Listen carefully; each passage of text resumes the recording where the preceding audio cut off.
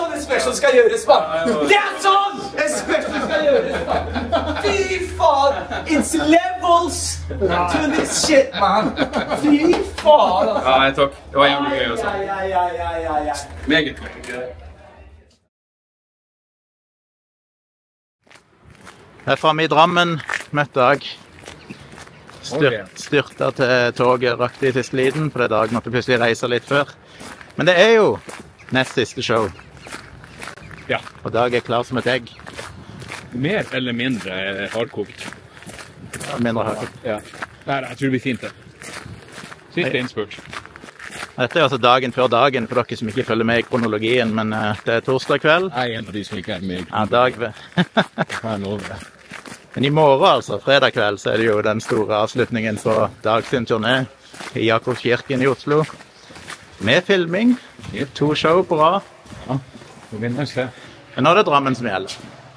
Ja. Og nå hadde jo bare håpa på at Dag bomber fullstendig, for det er vel egentlig det beste, er det ikke det? Hvis det avsetter selvtillit.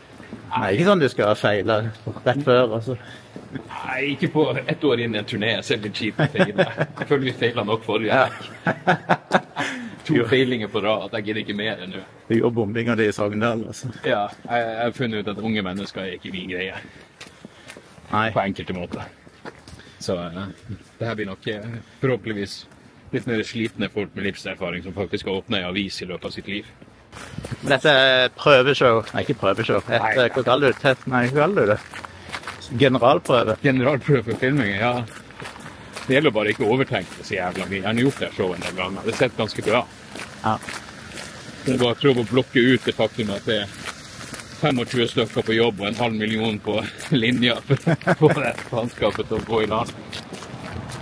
Passer på å ikke havne utpå i dag, Ja, det så faktisk får seg Jeg regner med at du skal ta en rolig kveld i kveld, siden Ja. du skal tidlig på. Det blir en jævlig lang dag i morgen. Nå kan Ja, man være der nede i tolv timer. Det er lenge. Ja.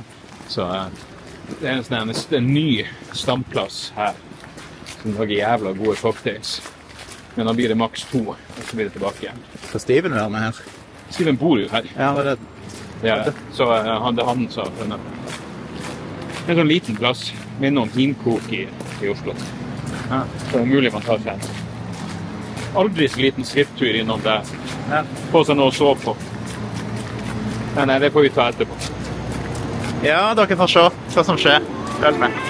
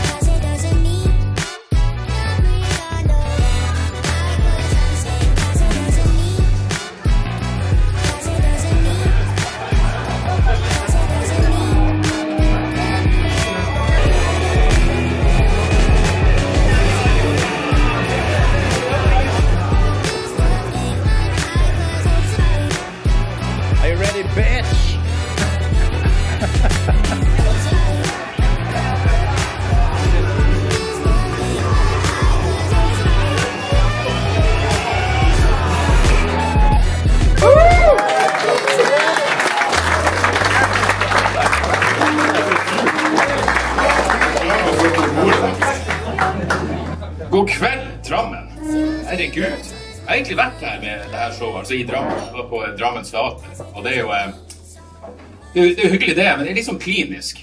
Du sitter ikke backstage på Drammens Teater og lurer på om noen har tatt en overdose der. Mens her Å, fy faen, her! Sitter backstage på den gamle gummifabrikken. Da vet du faen meg her er det folk som har bøta motvillig med livet. Så det er kjekt. Dere ser ut som en eh, fortreffelig gjeng. Forrige helg så var jeg og gjorde show på studentplasser i Sogndal. Og, eh, en eller annen Førde eller noe faenskap. Og det er, det, unge folk er ikke min greie lenger, altså. Dere har litt livserfaring, dere har ikke håp. Det er det jeg trenger. Dere gir opp. Det er det jeg trenger, basically. Nei, jeg synes ut som en fortreffelig gjeng.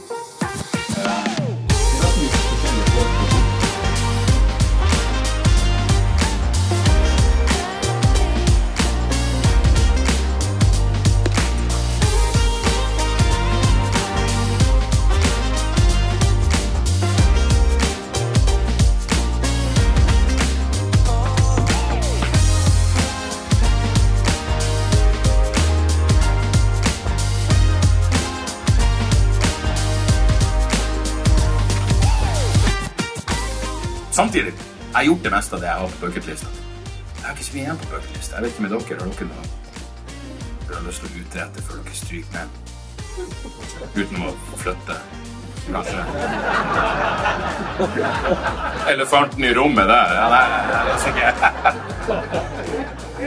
Nei, men Jeg har én ting jeg har lyst til å gjøre før jeg dør. Jeg har lyst til å få en nekrofil person til å si æsj. Det hadde vært jævlig gøy.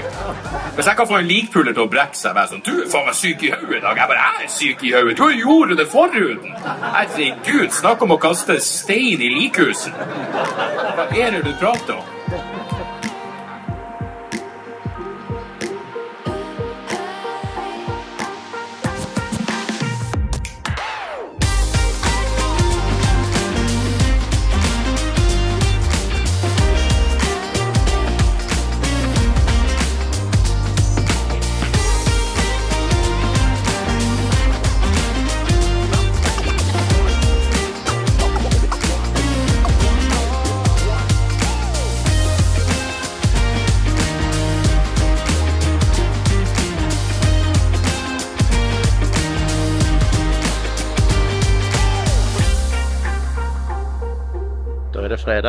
Den store dagen. 1. mars. Og Dag skal ha filming av showet sitt, de to siste forestillingene av Apokalykke. Og jeg er klokka 11 omtrent formiddagen. Skal først filme en sånn prolog, en liten intro til den endelige filmen. Og så skal jeg springe opp og være med i en podkast oppe på Universitetet i Oslo i ettermiddag, og så kommer jeg ned igjen. Og da blir det noen timer, og så starter showet som blir gøy. Men jeg er altså i Kulturkirken Jakob. Det er ganske fancy. Jeg skal gi dere en liten omvisning her. Wow. Foreløpig ganske tom. Ingen stoler satt ut, men her skal det jo rigges opp stoler og kamera og lys og lyd.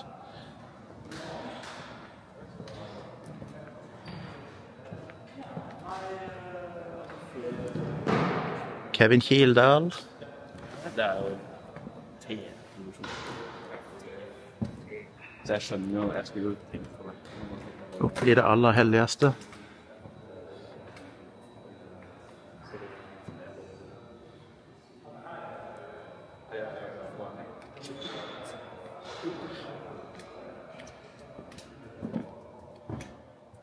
Så skal jeg ta dere med en tur ned backstage der som Dag er, og gitaristen i Kvelertak, tror jeg, som skal være med på Norsk Brell.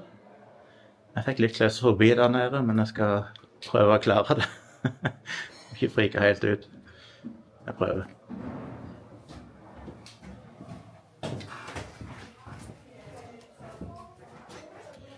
Nede i krypten, som de kaller det. Krypten i Kulturkirken Jakob. Her har det nok skjedd litt av hvert.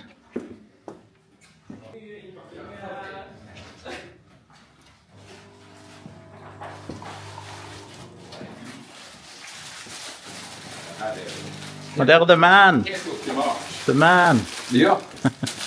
Jeg tror det her er helt perfekt. Helt perfekt. Stikke inn i klaustrofobirommet. Litt lågt under taket her.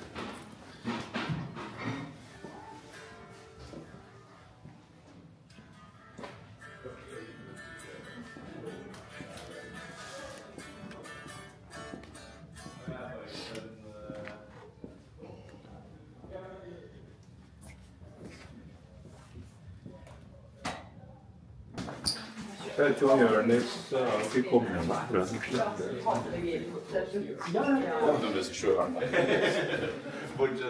Ja. Det kommer litt an på hvilken del som skal brukes. Ja, så jævlig Ja, det er mye som skjer. Jeg tenker bare i introen burde det bare være ja, selve Ja, det er liksom. Ja, ja, ja. Det er vel det ja mest naturlige. Jeg, jeg, jeg tror jeg husker det.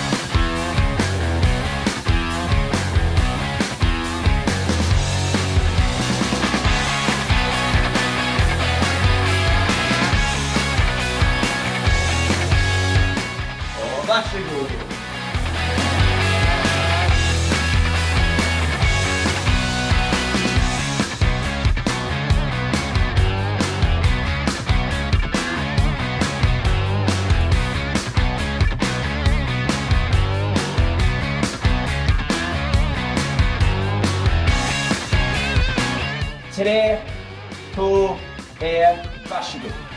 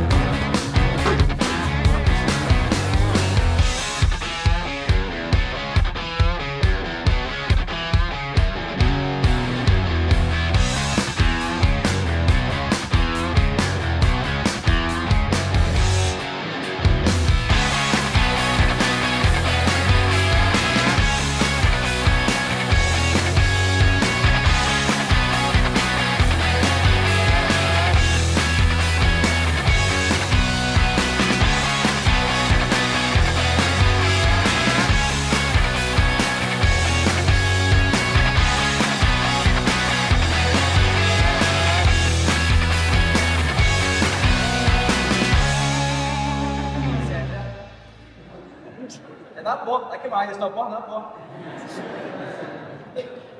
Vi prøver. Hva sa du, Atte? Ja, men det er, ja, du burde jo høre meg. For det er jo ganske nice medlyd. Det er derfor ser det er derfor jeg kommer på først, da. Lena, kan du. Ok, uansett. Det jeg skal si, Dag Sørås er Norges største og beste.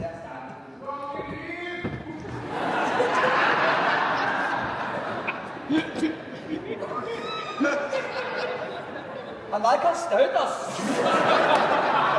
Jeg kødder. Du fortjener lyd. Du fortjener lyd. Her, OK, skal vi se. Ja. Du har tatt feil mic. Jeg har tatt feil mikrofon!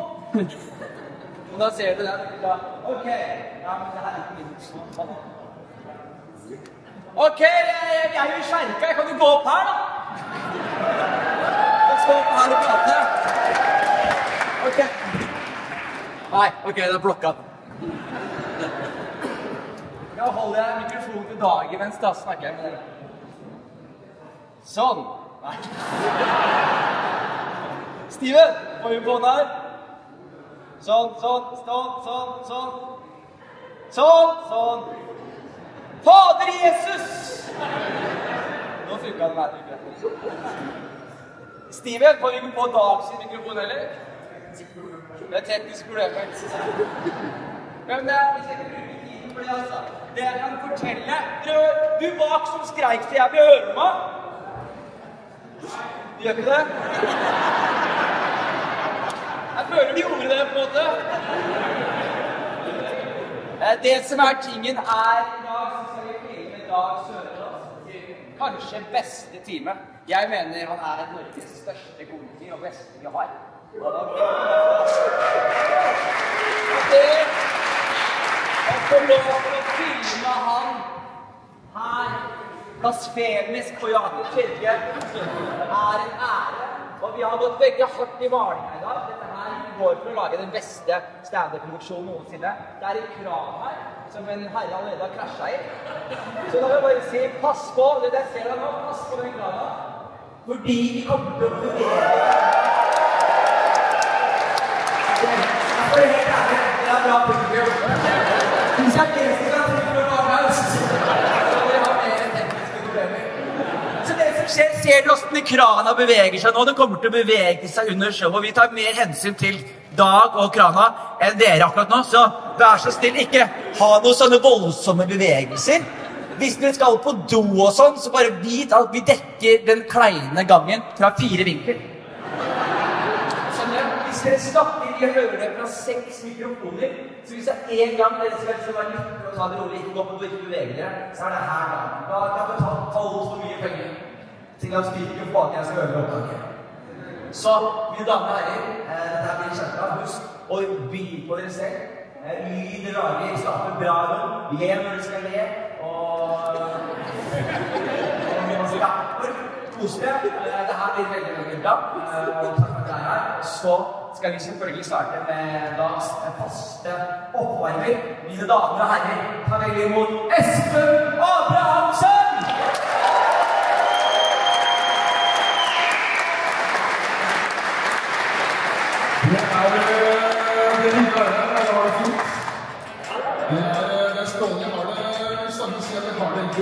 Veldig, veldig bra om dagen. Altså. Egentlig helt ekstremt å ha det. Og det er ikke spesielt som har skjedd. Jeg har bare endra perspektivet i livet. Og jeg har skjønt ja, at jeg må slutte å sammenligne hvordan det går med meg, hvordan det går med vellykka personer på sosiale medier, og heller sammenligne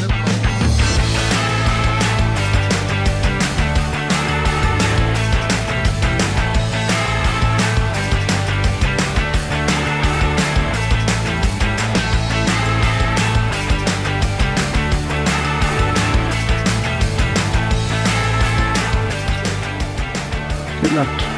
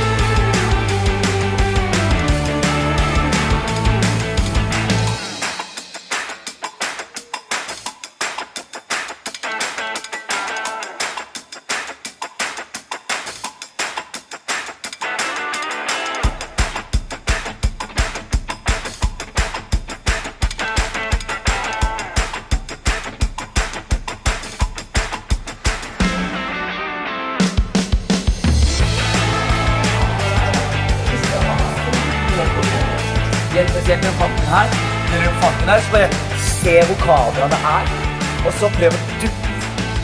Og så går det forbi kameraene. Det gjør det veldig Da, da, er det- da er det god stemning. Og så, eh, annet enn det, Espen skal jo på varmeoppstart. Han er i dag, eh, en dag sin fast... Hva sa du for noe? Han heter Espen? Ja, han skal ikke varme opp. Jeg håper ikke det i hvert fall. Nei, nei. Vil du si mitt? Nei, ok. Eh, så eh, det som er greia, dette er det siste showet vi gjør også. eh, Og derfor vil vi bruke mest av det showet her. Så husk å bare liksom Når dere ler, bare trykk på. Ja, sånn som det her, bare ti ganger. Ikke sant? Når dere klapper, klapp på. Men eh, vi merka i stad at folk klappa litt for mye. Så prøv å ta inn det også. At ikke lev, lev mye, men klappinga det er det når biten er ferdig. Og så eh, kommer vi til å eh, gjøre noe som heter pickups etterpå. Pickups er da at vi kommer til å gjøre intro og outro og jukse det til. Det er derfor billetten deres var billig. Dere er statister i dag. I dag Sørås sitt univers, og jeg håper dere elsker han like mye som jeg elsker han. Så, mine damer og herrer eh, se, se på han. Se på hvor god han er. Se hvor god han er. Ser dere hvordan han dukker? Ikke ett kamera. Dette er en fyr som har et rulleblad. skjønner du? Han vet hvordan han skal dukke kameraer. Dette er sånn de gjør det. Ingen catcher han på Oslo S. Jeg skal love dere. Men mine damer og herrer, dere virker som et veldig bra publikum nå. Dette her er siste gang i dag skal gjøre Apokalykke eh, av kollegaene hans eh, beskrevet som hans beste time til nå. Så det er siste gang han gjør det. Og, og det er så blasfemisk at vi er på Jakobs kirke. Det er ikke én komiker i Norge jeg helst vil ha der, og det er Dag Sørås. Så mine damer og herrer, la oss gjøre dette her til en historisk kveld. Dette her er en veldig dyr produksjon ut av Dag sine egne lommer. Ja, ja, rett fra, rett fra drikkekonto til Netflix-konto. Så mine damer og herrer, nytt show leder tilbake. Husk kameraene. Vi er alle sammen partnere i dag. Og ta vel imot kveldens oppvarmer og Dag Sørås sin faste oppvarmer og en av mine absolutt favorittkomikere. Espen Abrahamsen!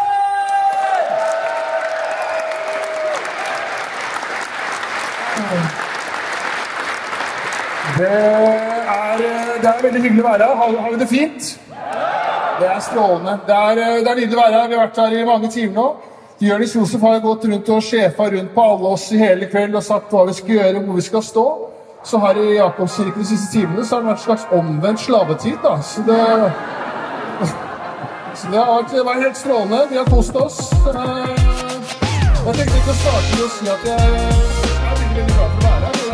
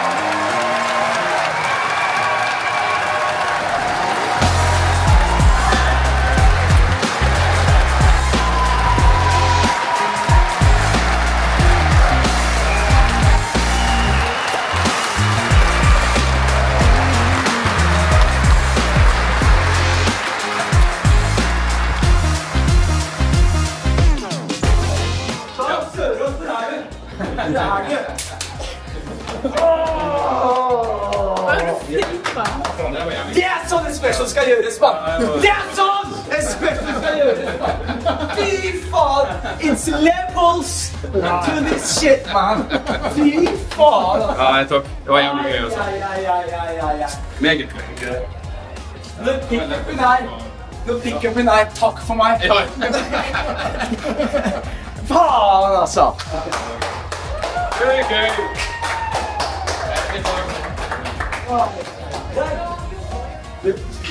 Altså, jeg er så happy. Og det siste outroen, de sto og de sto og de satt og de gjorde alt.